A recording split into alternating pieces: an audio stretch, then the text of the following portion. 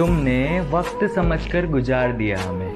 तुमने वक्त समझकर गुजार दिया हमें। और हम आज भी तुम्हें ज़िंदगी समझकर जी रहे हैं।